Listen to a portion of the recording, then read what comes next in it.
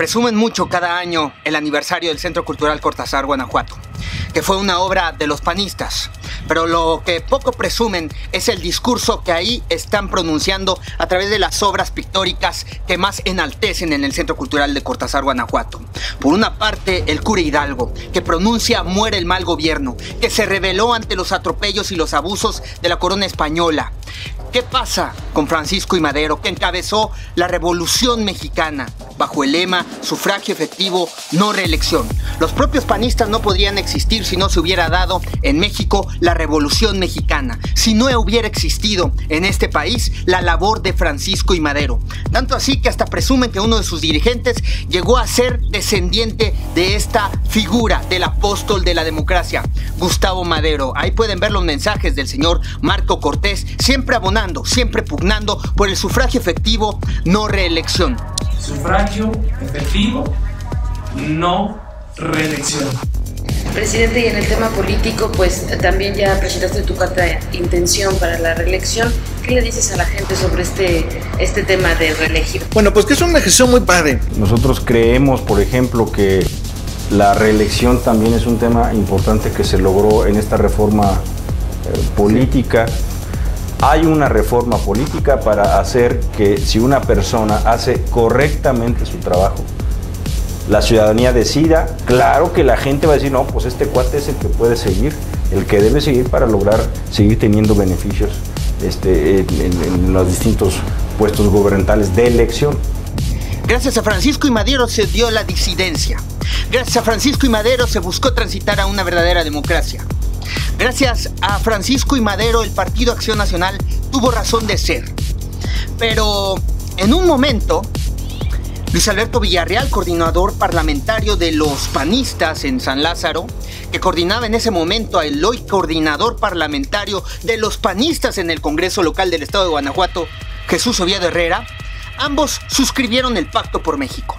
Hicieron alianzas con el PRI de Enrique Peña Nieto, hicieron alianzas con el PRD.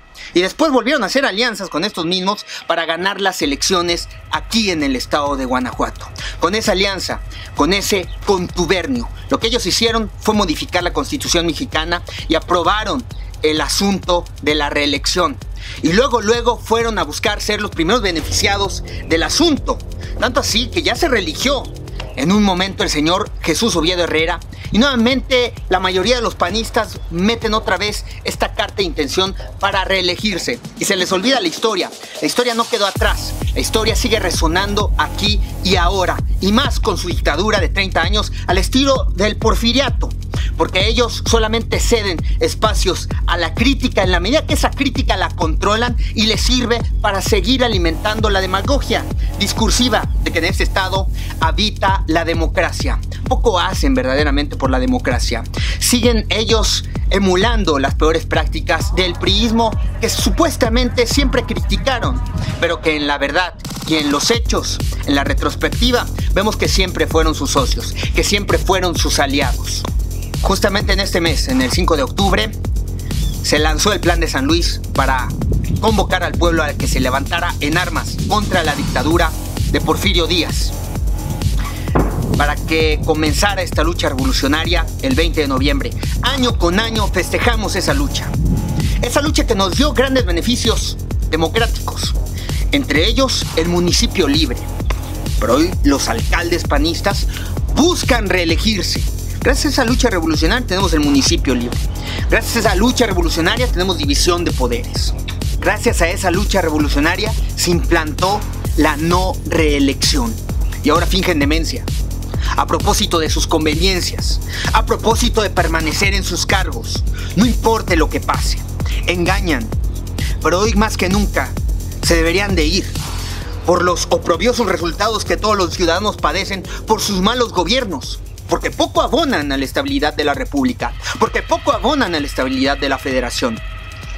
Vean las condiciones de violencia, vean las condiciones de guerra, de tremendo desfalco en la que habitan los ciudadanos en Guanajuato por culpa de los malos gobiernos del Partido Acción Nacional. Que al estilo del porfirismo presumen el gran crecimiento económico, pero no tenemos nada de desarrollo nada de desarrollo económico que se tiene que ver traducido verdaderamente en el capital humano.